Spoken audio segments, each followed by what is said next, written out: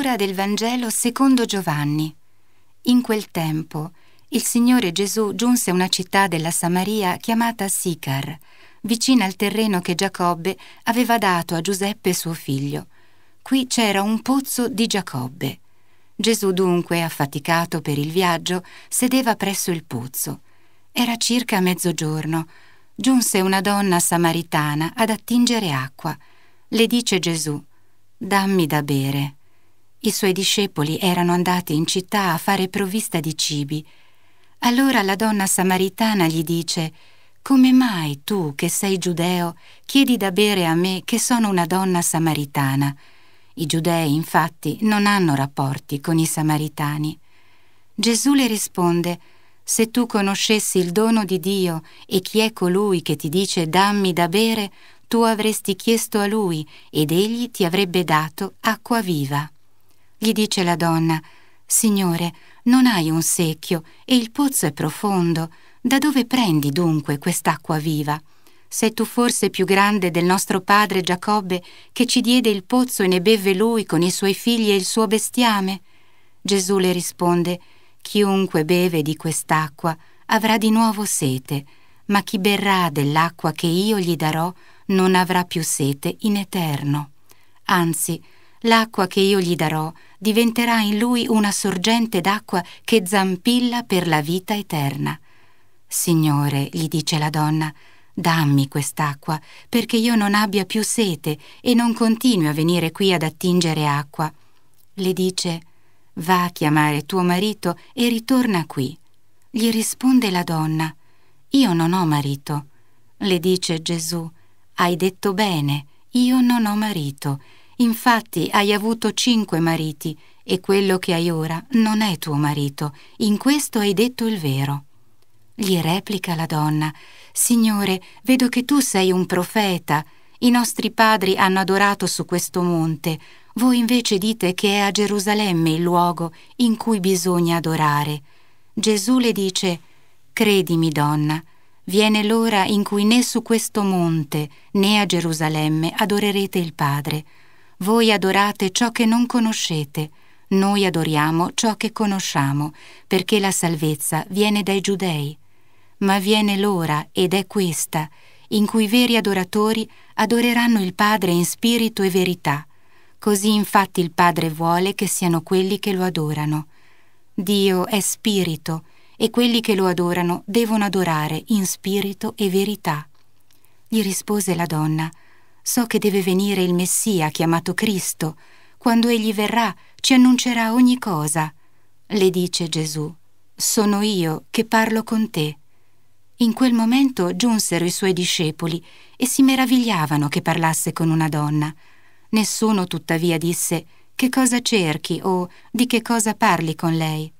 La donna intanto lasciò la sua anfora, andò in città e disse alla gente Venite a vedere un uomo che mi ha detto tutto quello che ho fatto, che sia lui il Cristo.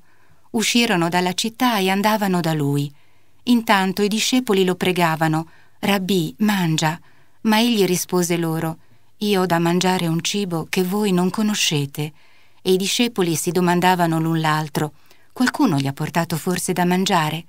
Gesù disse loro il mio cibo è fare la volontà di colui che mi ha mandato e compiere la sua opera.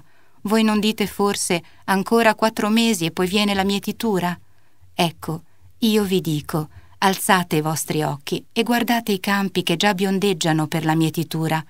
Chi miete riceve il salario e raccoglie frutto per la vita eterna, perché chi semina gioisca insieme a chi miete. In questo, infatti, si dimostra vero il proverbio uno semina e l'altro miete. Io vi ho mandati a mietere ciò per cui non avete faticato, altri hanno faticato e voi siete subentrati nella loro fatica. Molti samaritani di quella città credettero in lui per la parola della donna che testimoniava mi ha detto tutto quello che ho fatto, e quando i samaritani giunsero da lui, lo pregavano di rimanere da loro, ed egli rimase là due giorni. Molti di più credettero per la sua parola e alla donna dicevano non è più per i tuoi discorsi che noi crediamo, ma perché noi stessi abbiamo udito e sappiamo che questi è veramente il Salvatore del mondo. Pace bene amici e ben ritrovati in questa domenica seconda di Quaresima. Il Vangelo di oggi ci presenta l'episodio del dialogo, dell'incontro tra Gesù e la Samaritana. Gesù è stanco, ha camminato in quella terra polverosa e desertica della Samaria. Finalmente a mezzogiorno, l'ora è tarda, l'ora più calda della giornata, si siede stanco al pozzo e incontra una donna samaritana che va ad attingere acqua. E la interpella, prende l'iniziativa, meravigliando la stessa donna, la quale chiede al Signore, ma come mai tu che sei giudeo e sei un maestro, sei un rabbino, chiedi e interpelli, parli con me che sono una donna, una donna samaritana? Da tenere presente che anche i rabbini non potevano parlare con nessuna donna per strada, nemmeno con la propria moglie, soltanto in casa, nel privato, si poteva discutere e dialogare con una donna. Quindi la meraviglia di questa donna samaritana è più che giustificata. Questo è un particolare, un contesto da tenere presente. Poi mm, quello che suscita interesse è il dialogo, lo stile, la modalità con cui Gesù procede nel suo parlare con la Samaritana. Innanzitutto, innanzitutto le chiede di dargli da bere, lui, lei si preoccupa come mai tu che sei chiedi da bere, e perché? Non perché non spiega, non dà una motivazione eh, umana a Gesù, ma porta sempre il discorso, allarga sempre il discorso e lo porta su un gradino spirituale. E dice, se tu conoscessi il dono di Dio, chi è colui che ti chiede questo, io sono in grado di darti un'acqua che disseta per la vita eterna.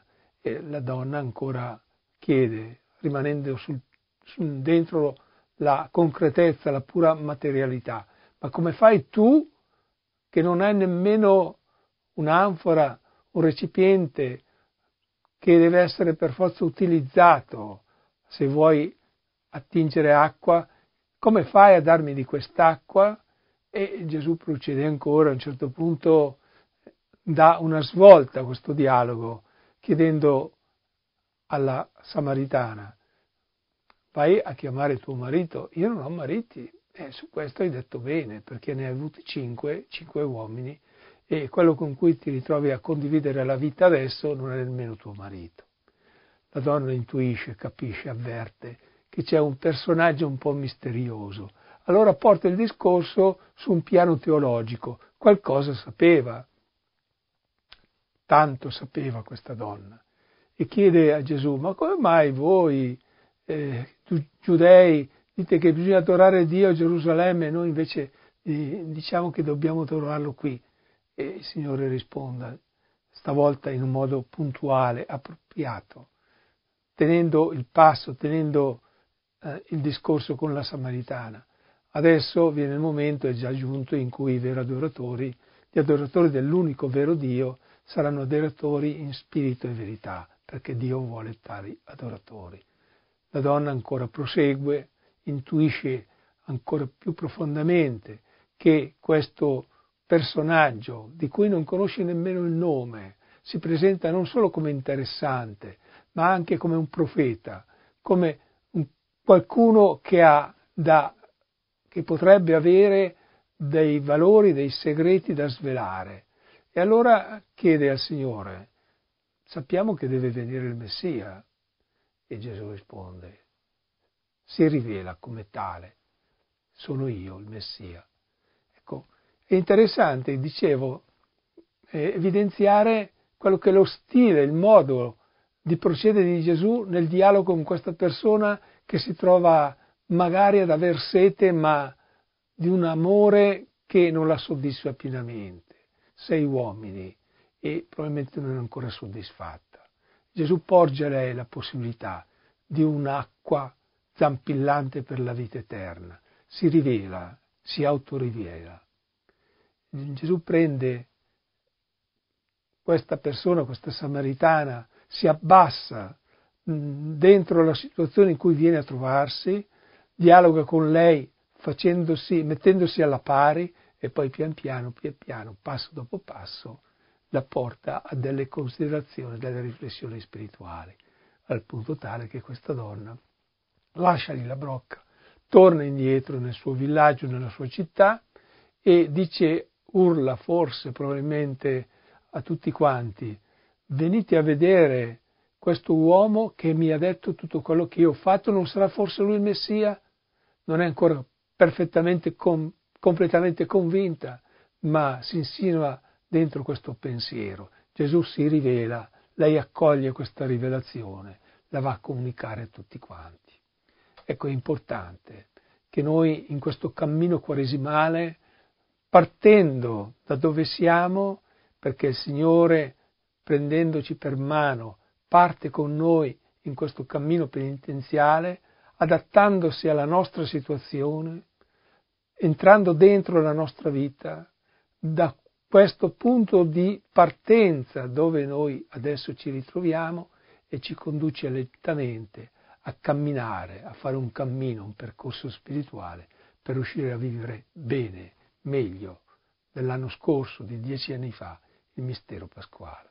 E allora consegniamoci al Signore che viene a chiederci da bere, Lui è assetato del nostro cuore, è consapevole, è convinto che soltanto ascoltando la sua parola noi saremo saziati, soltanto con lui saremo contenti qua giù sulla faccia della terra.